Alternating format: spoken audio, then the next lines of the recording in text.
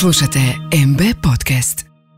Ja sam Denis Kuljiš, ovo je serija razgovora koju vodim u povodu izlaska knjige e, Titov tajni imperij koju sam napisao sa pokojnim hrvatskim povjestičarom Williamom Klingerom. E, sugovornik je Boris Rašeta, novinar, publicist koji je objavio jako puno e, knjiga, brošura i feltona o temi o kojoj ćemo danas razgovarati.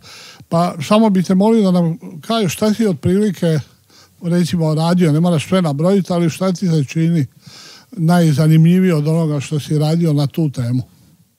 Bilo je toga puno. Zapravo, e, najzanimljivija knjiga najzanimljiviji predmet koji sam radio na tu temu je bila e, neka vrsta publicističke biografije Pavla Bastajića i, Mustafe Golubića te usputi Ivana Srebrnjaka Antonova. Dakle, ljudi koji su bili uh, u obaveštenom aparatu, koji su bili egzekutori, koji su bili intelektualci između ostalog i koji su zapravo obsluživali cijeli aparat Kominterme, Sovjetske tajne službe, uh, Jugoslavenske komunističke partije i koji su cijelu tu ideju zapravo na neki način provodili u život. Što se tiče samog Tita u pravu si naravno od 2008. 2009. kad smo radili te knjige, feltone, tekstove, Tito je bio neka vrsta uh, nakladničkog mide. Šta god bi se zapravo s Titovim imenom uh, čega god bi se dotaknuli, to se pretvaralo u e, zlato. Te knjige su bilježile ogromne naklade, naslovnice sa njegovim imenom su u pravilu uvijek dizale nakladu više od Milanovića, Jadranke Kosor, Rive Sanader, dakle oni služe kao neka vrsta pandana engleskoj kraljevskoj obitelji i sve je zapravo bilo zahvalno i za istraživanje, i za pisanje, i za, i za analize, i za napise. Najzanimljivija mi je u cijelom tom životu zapravo bila drama koju on proživljavao 38. u vrijeme velike čistke, kad je ne su njegove intimne drame. Dakle, on se tamo ženi sa Lucijom Bauerem, sa drugaricom koja je bila šef, e, supruga prije toga jednog od vodećih e, njemačkih e, komunista u vrijeme rusko-njemačkih e, komplota pakta Stalin, e, Hitler, odnosno Molotov-Ribbentrop, on je prinuđen kako Rusija tad naveliko isporučuje njemačke komuniste u zemlju porijekla, prisiljen odeći se te žene i tog braka i onda tamo piše jednu izjavu e, isljednicima u kojoj kaže da on nije pokazao dovoljno budnosti, da nije primijetio da je ta žena agentica gestapo Ja sam mislio, ako bi bilo ko od nas bio u situaciji da se mora izjavom odreći svoje žene, svoje ljubavi, svog oca, majke, bližnjega i tako kakva je to intimna drama? On kasnije doista o tome nikome nije govorio, Dedijer je o tome u par navrata pričao u e, šiframa i mislim da je to bila jedna velika, nezapažena, jedna, jedna doista e, šekspirijanska drama. Interesantno, e, kad je partija istraživala slučaj drugarice Jovanke, onda sam u zapisima koje sam krenuo čitati navečer u 11 sati, a završio u 6 ujutro jer je njihova magnetična prilašnost bila nesavladiva, došao do spoznaja da je drugarica Jovanka imala do te mjere veliki, a u nekim fazama i poguban utjecaj na njega da je taj trostruki narodni heroj sa Sutjeske, Neretve i tako dalje morao u jedan, u dva sata po ponoć bježati u kupaonu i spavati u kadi. dakle, mimo svih javno poznatih velikih bitaka druga Tita, ove njegove male, slabije poznate, intimne su zapravo po mom sudu predstavljale pravo skladište velikih šekspirijanskih drama i tome sam se uvijek posvećivao sa, sa e, velikom pažnjom. Ali mislim da bi ovo trebalo kontekstualizirati mhm. ovu e, priču sa Lucijom Bauer koja je bila u njegovim biografijama neetablirana do praktično ono zadnjih godina. Ne? Ja zapravo najdirektniji što sam našao izvor za to je e, bio u knjizi Marija Mihovilovića gdje on opisuje znači iz svoje obitelji kako je njegova, to si vjerojatno čitao, kako je njegova jedna njegova teta ili šta mu je, kako je stanovala u hotelu Lux skupa sa tom Lucijom Bauer, pa je onda opisala baš direktnu stvar. Jer ja inače sam jako nesklono ove, uzimati u obzir ove sva izvješća iz druge ruke, jer mislim tu se previše toga pleta. Ali o, što se ovoga tiče, važno je reći znači, da Tito dolazi u svoj drugi taj ključni posjet u Moskvi dolazi u trenutku kad je već znači u trenutku kad se sklapa sporazum Molotov-Ribbentrop, zapravo Stalin Hitler, jel? u kojem se jedna od od klauzula toga ugovora je uzajamno izručivanje subverzivnih aparata koje su e, imale obje strane u tuđim e, interesnim zonama. Kako je Njemačka interesna zona bila polovica Jugoslavije, praktično je to tako bilo. Znači Hrvatska i Slovenija su manje više spadali u njemačku interesnu zonu, a e, Srbija i ostalo u rusku interesnu zonu. Onda je ovaj zapravo kad čovjek gleda u tom kontekstu je e, pogibja onih svih e, ljudi u Kerestincu se mora gledati u tom kontekstu. Znači, e, kad, je, kad, je došlo do hapšenja te grupe koja je došla, koja je završila u Kerestincu, oni su svi, sto i nešto ljudi uhapšeno po spisku. Znači nije išla e, policija i to je bila Banovinska Hrvatska Maček. policija, da, koji je bio direktno, e, policija je bila direktno pod Banom Šubašićem, ne? Znači, oni su imali spisak i oni su njih digli odjedanput.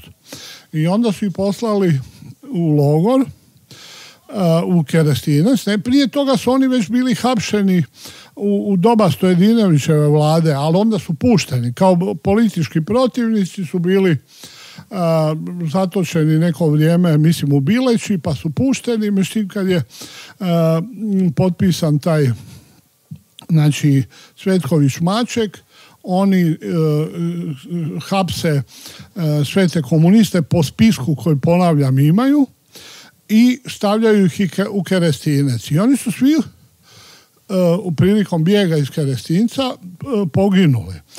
U doba kad su oni bili u Kerestincu u Zagrebu se održavala peta zemaljska konferencija. Nikad nije bilo na petoj zemaljskoj E, nema govora o tome da treba napraviti neku akciju za njihovo oslobađanje. Tek kad počinje rat Rusije i odnosno Sovjetskog saveza i ove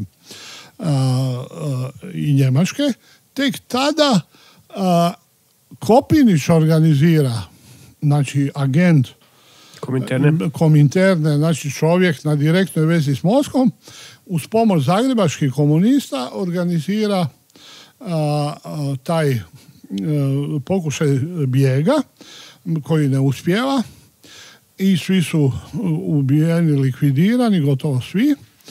A, ovaj, a Hrvatski centralni komitet, odnosno njegovo operativno rukovodstvo, odnosno Tito koji je tada u Beogradu, u tome e, ni na koji način ne sudjeluje. Sad u tom kontekstu koji je malo širok ovako, ali kad gledamo e, to pitanje recimo iz hotela Lux, ne?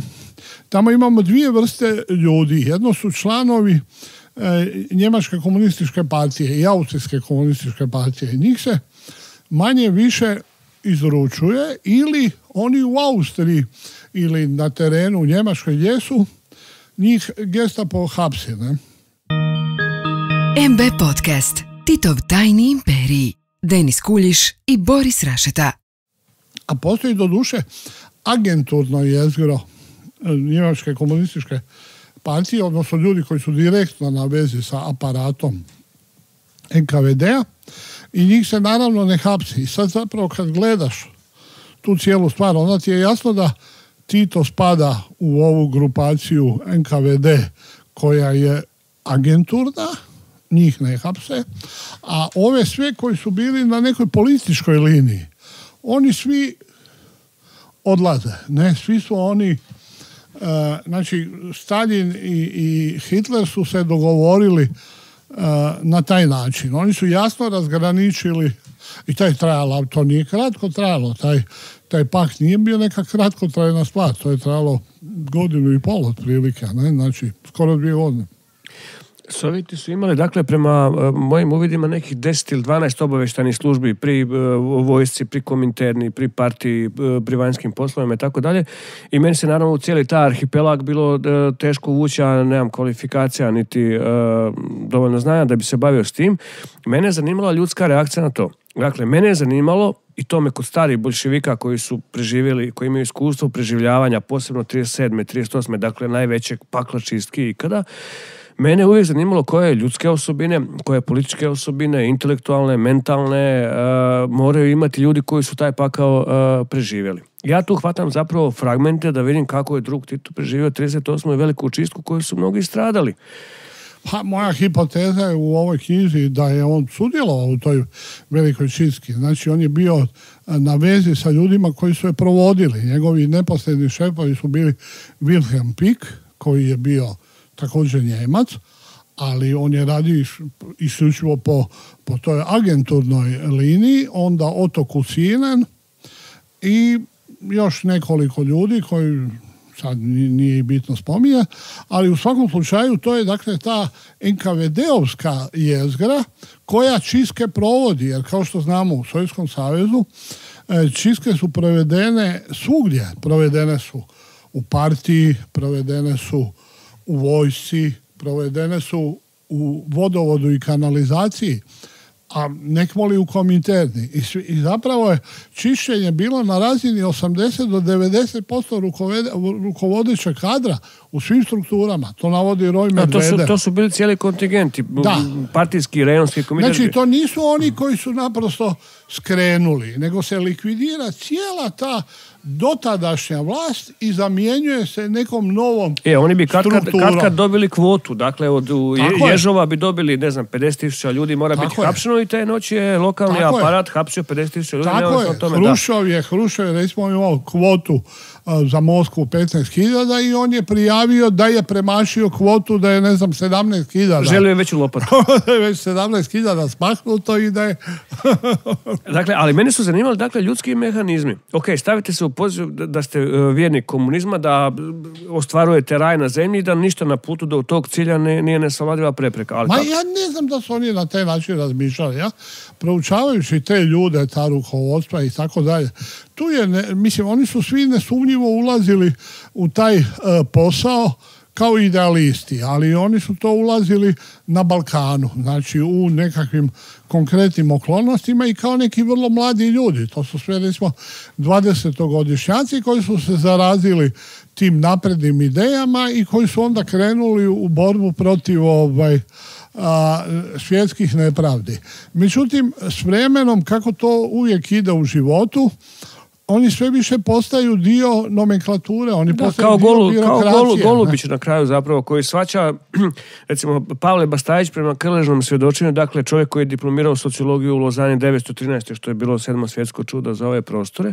U trenutku kad od e, aparata e, dobija nalog za likvidaciju s kojim se on moralno ne slaže, puca i on traži Stojadinovića da ga pu- pusti u Jugoslaviju, da mu da salus conductus, nesmetan prolaz, pod uvjetom da se više nikad ne bavi politikom. Golubić, međutim, ostraje u tom poslu do kraja i on je od početka pragmatičan. On shvaća da to više nije idealistička priča. MB Podcast. Titov tajni imperiji. Denis Kuljiš i Boris Rašeta. Ali dakle, šta je mene A zanimalo? dobro, Golubić je i onako drugi jedan, e, kako bi rekao, tip čovjeka, on je, ovaj, on je, on je ipak jedan stari solunaš, on je... On je čovjek od akcije. Da, da, on, jasno. je, on je jedan ono prevratnik Komita. još iz do- komita pravi i onda sad malo radi za ove, malo radi za GRU, onda mislim na kraju e, ima, on- našao sam gdje veli da moli, e, b- znači e, inter, kod Tit- Tito je došao u Beograd gdje je bio ovaj kao agent GRU-a je djelao Golubić i sada ide zamolba preko Kominterne, odnosno preko NKVD-a, a to je ista mreža, da mole Tita da ne pravi smetnje u radu drugu, Golubiću. drugu Golubiću, jer naravno on se želi riješiti Golubića, kao što se u Zagrebu htio riješiti Srebrenjaka. Pa evo, moj prijatelj Miloš uh, Vasić ima dosta lucidnu tezu koju nije moguće potvrditi, ali zvuči Dobro. vrlo, vrlo logično. Tri čovjeka u to vrijeme imaju radio stanicu uh, s kojim se komunicira sa Balkana, uh, sa ovih naših prostora prema Kominterni. Jedan je Mustafa Golubić koji nije Titov intimus, da, naprotiv koji je unutar partijskih krugova njegov neprijatelj. Drugi je Ivan Srebrnjak Antonov kojeg Tita otprije, kojega Tito doista ne podnosi. Treći je Kopinić koji je Titov prijatelj, koji je Titov... Da, da, ali nije imao Golubić. Ta, ta Beogradska radio stanica je bila u kući od ovoga ribnikara. Jer ribnikar je glavni agent GRU-a, znači izdavač politike, on je glavni agent e, ruske vojne obavještajne službe. To ima u, To nisam znao. u godišnjaku. Mislim, to su Rusi objavili kao uh, je, postoji jedna knjiga koja je zapravo neslužbena povijest vojno obavještajne službe i tu se njega ističe kao uh, glavnog čovjeka uh, zapravo uh, GRU-a u Interesantno je kako su Beogradu? Sovjeti vrbovali. Dakle, on je putovao, mislim, neke od kasnih 20, 28, s jednom širom delegacijom u kojoj je bio Je. Radić, u kojoj je. Je. bio... I on je upravo bio pred vjenčanjem. Rusi su mu podmetnuli neku djevojku ovaj, i onda su mu rekli, vi se možete vratiti, ali vaša veritba će biti mm, kompromitirana. To, to, to putovanje, to putovanje... Augustinčić mislim da je bio također. Da, e, dakle, putovanje Radića u Moskvu to je bila jedna velika obavještajna operacija sovjetska koja se zasnivala na njihovoj ideji da na Balkanu ne treba priznavati Jugoslavensku komunističku partiju jer je Jugoslavija neprirodna versajska tvorevina koja je velika smetnja Sovjetskom savezu. Jer- I bili su protivnici Rusije, da. pa da, oni nisu, tek 40. su priznali Sovjetski savez. Do tada oni priznaju vladu u izbjeglištu. Ne? I e, osim toga, Jugoslavenska vojska je ugušila mađarski ustanak Bele Kuna. To nisam znao. Pa da, mislim, rumunjska i jugoslavenska vojska. Drugo, Jugoslavija je se miješala u e, politiku u Bugarskoj i ona je zapravo e, jedan od, to je bio jedan od uzroka da je propao puć u, u, Bugarskoj pa, pa je koju su pokušala napraviti agrarna partija Stambolijskoga i onda je došlo do desne represije. Znači, budući da je Jugoslavija eksponent Francuske u zapravo cijela mala Antanta je napravljena, izmišljena je Jugoslavija kao jedan Bedem. bedem. On, znači imamo Grčku, imamo Jugoslaviju, imamo Rumunjsku, imamo Čehoslovačku, imamo Poljsku. To su sve manje više francuske i nešto engleske e, države koje drže e, kontejner prema, prema istoku. Ne? I sad, e, znači za Sovjetski savez Jugoslavija je jedna neprijateljska tvorevina. Međutim, kako je e, e, vladavina kralja Aleksandra popularna u Srbiji, tamo zapravo nema ovaj, neke šanse da se razvije neka ozbiljna agitacija za rušenje te e, e, vlasti, ali je duboko nepopularna u Hrvatskoj. I onda oni kreiraju tu svoju politiku Narodnog fronta koji su kreirali, e, koji su primjenjivali poslije u Francuskoj i svugdje drugdje. I Hrvatska je industrijski razvijena, dakle tu je komunizam neusporedivo razvijeniji. pa zapravo to nego je manje tamo. važno, manje važna partija. Najvažniji su seljaci, jer u Staljinovoj vi- viziji, znači on je shvatio vrlo rano da ti ne možeš sa radnicima pobijediti fašizam i režim. Jer je naprosto u istočnoj Europi to premala baza. Znači, tebi trebaju seljaci. Kako ćeš ti bez seljaka napraviti revoluciju? Pa konačno u Rusiji su seljaci napravili. Mislim, pokrenuli su je radnici u Petrogradu. A šta bi oni napravili da nije bilo velike ono ruske razvojačene, te gomile seljačke i tako dalje. I tu Stalin ima vrlo, budući da on ratovao u Poljskoj, gdje su oni pobjeđeni. On je, on je bio politički komesar kod Buđonija. I njih su tamo satrli seljaci. pregaženi. I tu je znači... e, Seljaci su ih Zapravo vrbovan ribnikar. I oni su shvatili, shvatili da, ovaj, da zapravo ako ti hoćeš, da ti moraš napraviti, znači da ti moraš ponoviti cijeli ovaj scenarij koji se dogodio u Rusiji. Znači krene kao nacionalna revolucija, kao sa Kerenskim. A onda ako si ti u savezu sa tim eserima, sa demokratima, ono, lako ćeš ti s njima već obračunati, jer komunisti su dobri za prevrate, a loši su za ratovanje. Jer ako treba ratovat, znaš, ono, seljaci će uvijek pobijediti radnike, tu nema Boga. A da, to- ovo što su izveli u oktobru je bilo jedno minijaturno zapravo političko-tehnološko čudo. Pa da, A Ono što sam ti I oni su to htjeli primijeniti u Jugoslaviji. I onda su rekli, aha, znači mi moramo naći savezničku jednu e, snagu e, za jednu nacionalni front. Ali u Srbiji ga nećemo naći. Jer je tamo među seljacima popularan režim. Ali u Hrvatskoj je vrlo popularan e, Radić. U Sloveniji također imamo jedan taj seljački sentiment. Znači, moramo raditi prvo u Hrvatskoj. I onda oni pozivaju em, Radića u Moskvu. I on se učlanjuje u takozvanu e, socijalističku internacionalu. Sad kad ti vidiš šta je socijalistička internacionala, ti vidiš da je to uopće ne postoji. Da je to zapravo jedna izmišljotina Himera. koja je napravljena samo zbog Radića. On je jedini ima neku stranku. Ostalo je partija irskih fra- f- farmera. Onda neka meksička seljačka partija, a, agrarna partija Stambolijsko koji su upravo raz, razmontirali. A šef socijalističke internacionale je ko? Drug Ho Chi Minh. I, I radi se upisuje kod druga Ho Chi Mina i ideja je da on napravi neki nacionalni front komunistima i da se onda ruši, ruši režim. Ali mislim e, vlast a, a, diktatura Aleksandra je bila previše čvrsta. MB Podcast. Titov tajni imperiji. Denis Kuljiš i Boris Rašeta. I evo sad, dakle, ti imaš, slikaš tu široku sliku u velikim potezima, kistom i tako da, ja se vraćam na, na ovu Da. mikrosliku i dakle, ja gledam kako Tito provodi te, teške godine 37. 38. u Moskvi i tako dalje. Dakle, da li tu postoji jedna herojska slika Johna Wayna koji se, ili ne znam, e, točno u podne Gary Coopera koji se suprotstavlja ra- razularenoj bandi sa revolverom i tako dalje? Ne. E, on potpisuje nikad nije govorio o svojim traumama, ali on dakle potpisuje tu izjavu da nije bio dovoljno budan i nije uočio neprijateljsku i špijunsku djelatnost svoje žene.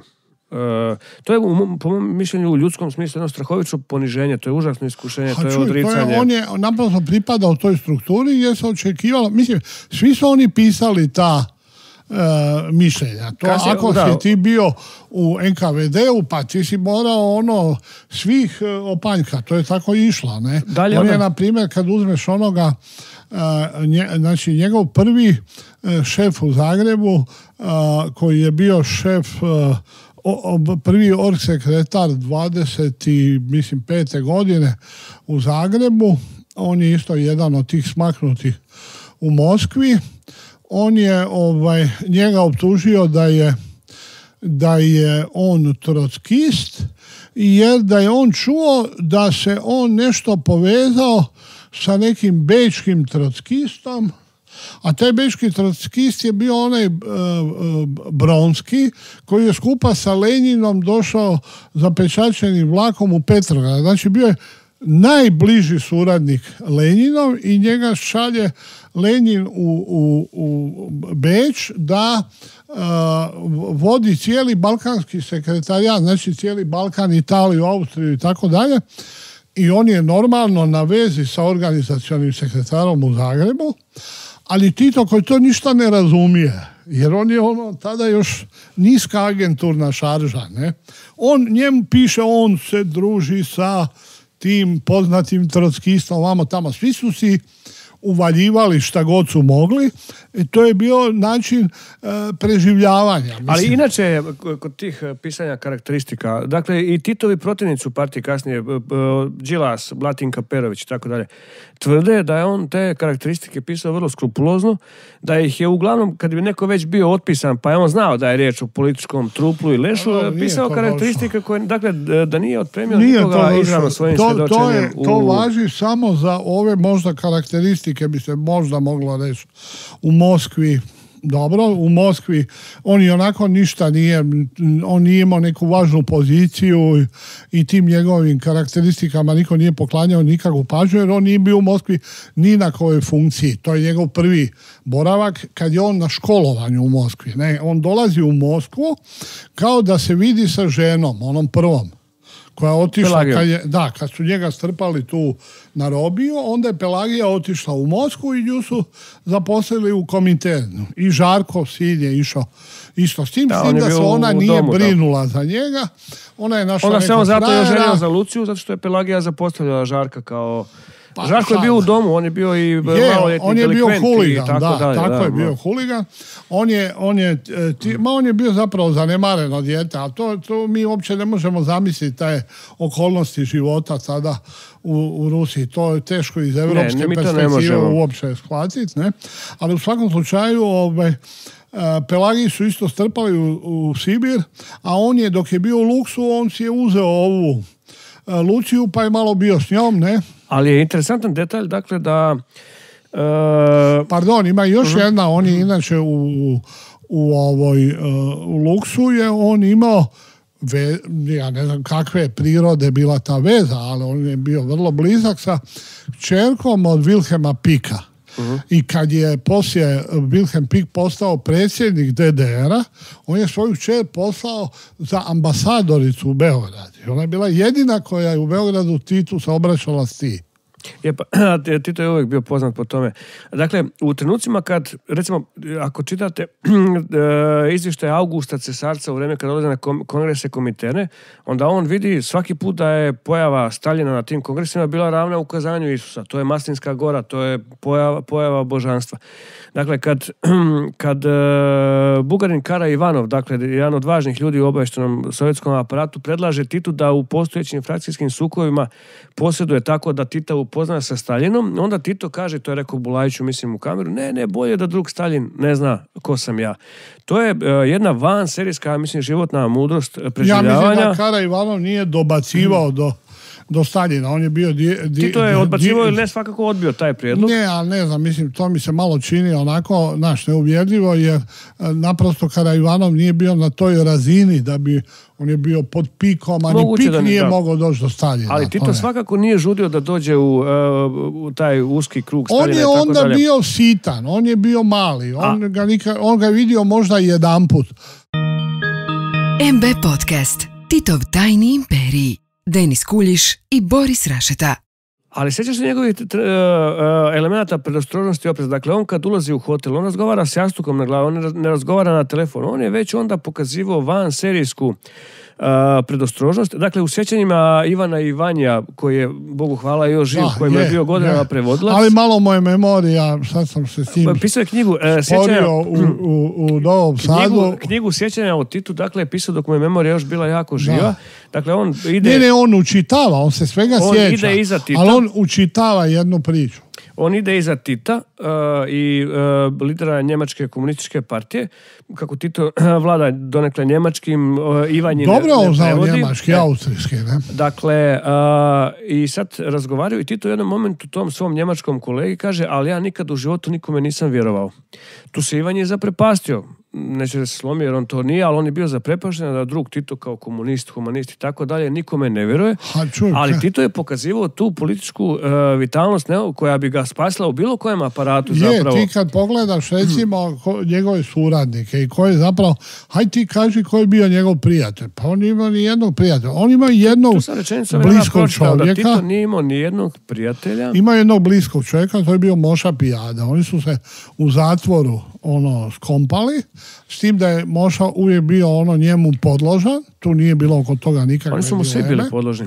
A pa je, po toj logici je birao, nije on birao nikakve ravne ljude. On je bio i puno stariji, znaš, od svih ovih. On je recimo Pa to uzimao... je bio nadimak, da. Kad, kad je uzeo, a ne, ne, stari, to je u, u no- nomenklaturi e, partijskoj, svi se zovu stari šefovi partije, Geros u Grčkoj, Viejo u Španjolskoj, to je, to je čin.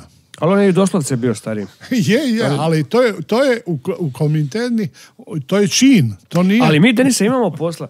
Sa, Imamo Walter, to je onaj koji puca. Imamo Oto, to je organizacioni sekretar. Imamo Stari, to je šef. To su tipska, znaš, to nisu Ali osobni mi ovdje nadimci. imamo a, posla sa jednom karizmom koja će trajati očito još 100 godina. Dakle, čitao si knjigu Jožeta Pirjavca, Tito i drugovi. Jesam. Prvih 40 strana, ili 30, koje su stra- strašno dojmljive, su posvećene snazi njegovih očiju.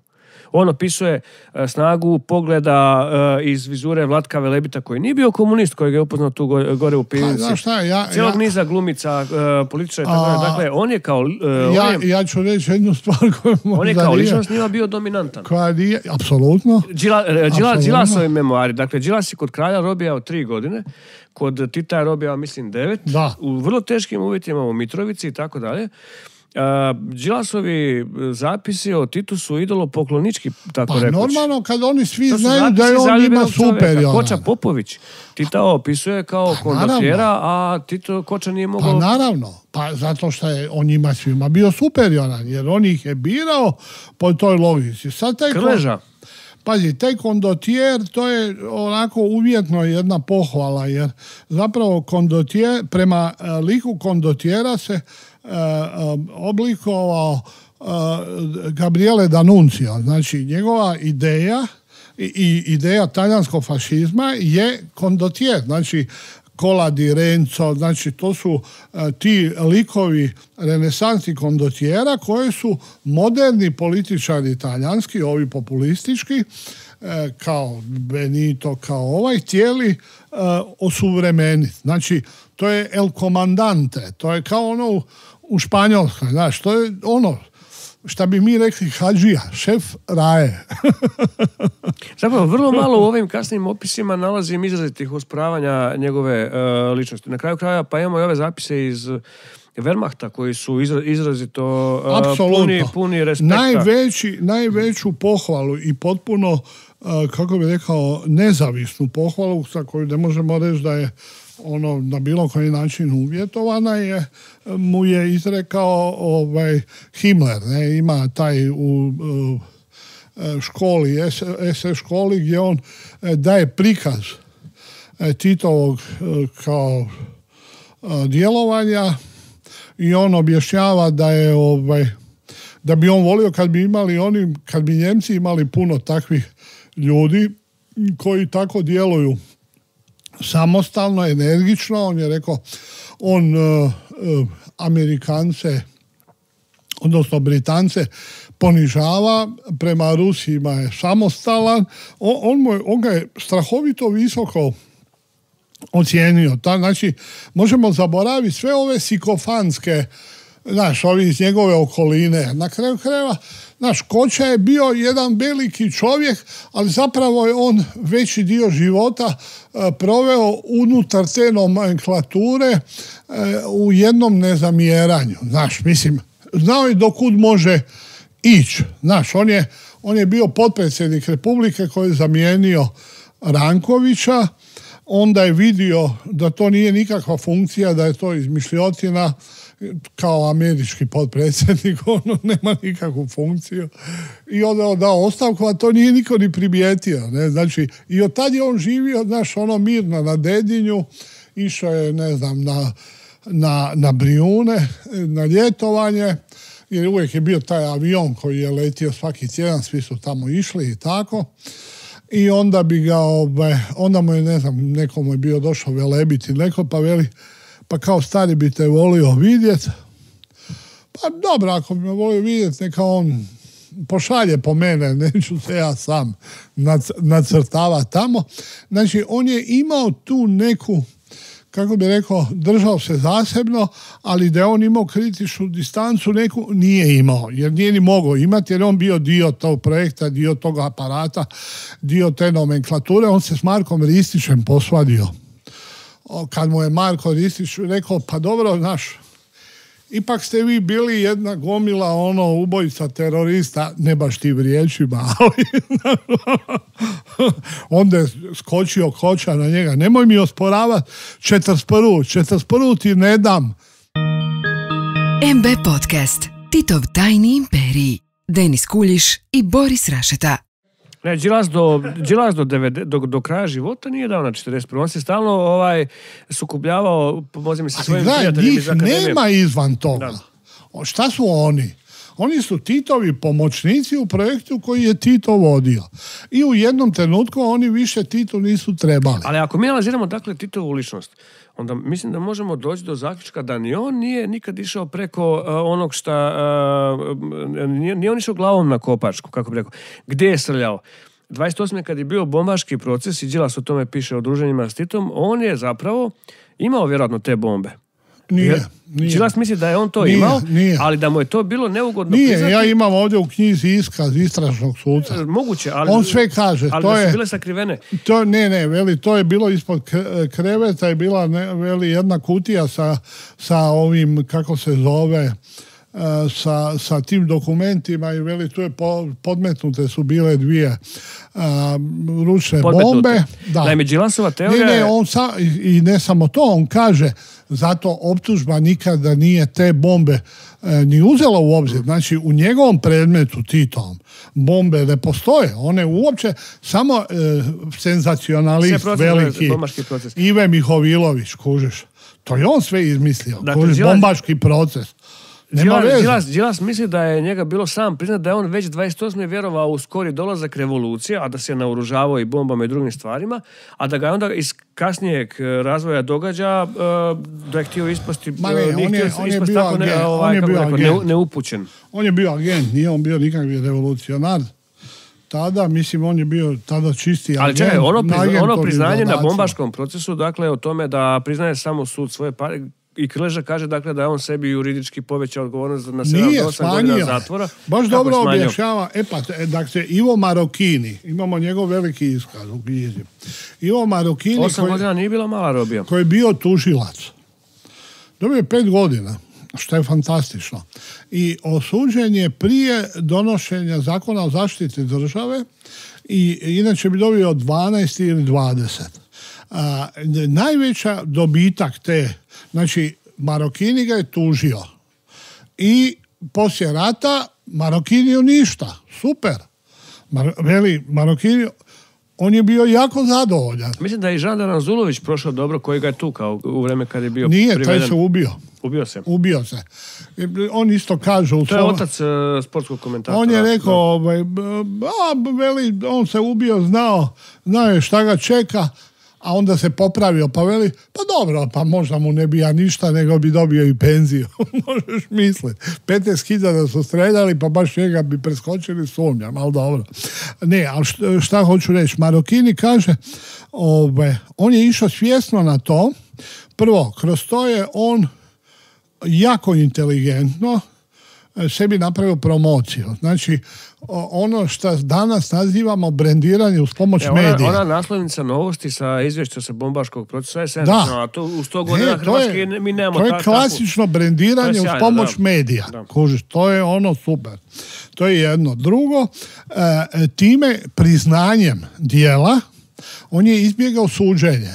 A Veli Marokini, on je ležao tu u kazamatu, u ovom i današnjem županijskom sudu nije se ništa promijenilo, a bili su neuvjetni te, to su bile neke užasne čelije i tako dalje, a Veli onda je tako izbjegao istražni zatvor jer je odmah bilo zaključeno, on je dijelo priznao i onda je suđenje samo po e, jednom članu, a ne po dva e, i on je izašao jeftino pet godina. Pazi, pet godina su dobijali ono najbezazleniji, inače ne znam, su, Hebrang je dobio 12, ovaj Čolaković je dobio do 20. 20, da. to su bile dugotrajne robije. Pet godina, to je bilo, Čolaković ne imao kraće dobiti. Zapravo.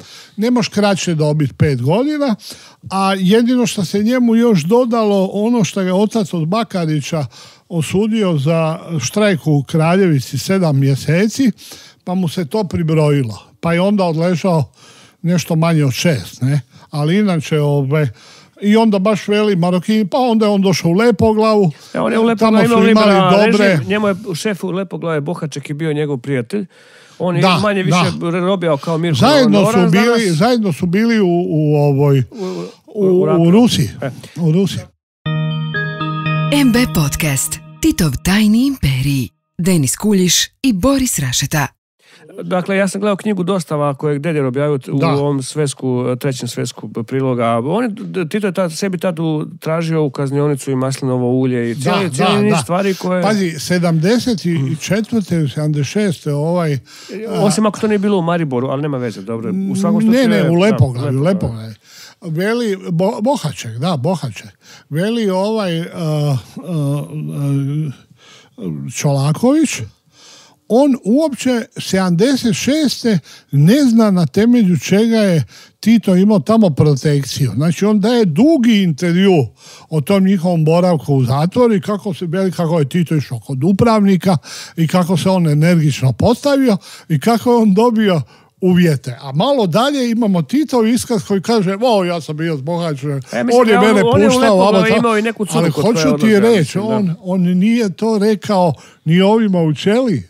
Razumiješ? Ni to im nije rekao. On E, ali to se- to se dakle- šta ne treba. To se dakle uklapa u ove naše fragmente zato ti portreta Josipa da. Broza Tita koji ukazuju Da. na vanserijsku predostrožnost, Da. e, lukavost, realizam u krajnjoj liniji. Obje noge na zemlji, sve Obje. razumije. Staljinov omljeni mit je dakle bio mit o Anteju koji je nepobjediv dok stoji s obje noge na zemlji i oba dvojica e, ljudi su umrli u krevetu. I to dokazuje da, Da. su oni cijeli život e, bili Anteji zapravo Da. bolševičke politike.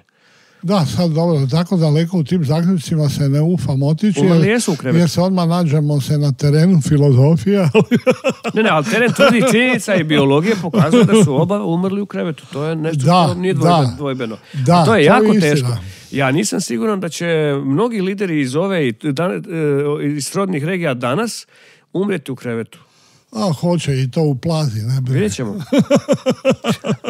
Ja se uopće za njih ne Ali Denise, pogledaj iz ove perspektive, dakle, e, imati cijeli ovaj prostor, doduše, naravno u drugačijim okolnostima, 35 godina pod kontrolom, e, održavati sve to, tu je trebala jedna potpuno van Je, serijska energija, Apsolutno. volja za moć, inteligencija. Nema o tome razgovora, da je on bio strahovito sposoban, da je bio ono kao političar genijalan i toliko je bio superioran da nam takav uopće nije trebao. Jer mislim, kako bi rekao, teško je imati takvog genija. Znaš, jer mislim, gdje smo tu mi onda? Znaš, ono, nama to nije ništa puno donijelo. Znaš, on je vizionar, pa onda ide, znaš, ono, oslobađa one crnce tamo u Centralnoafričkoj republici, pa ide, ne znam, u, u, znaš, svugdje ide gdje će se stvari početi kotrljati tek 20 godina kasnije. Dođu u Kinu, znaš, ono, otvori Kinu, pa otvori Daleki istok, pa otvori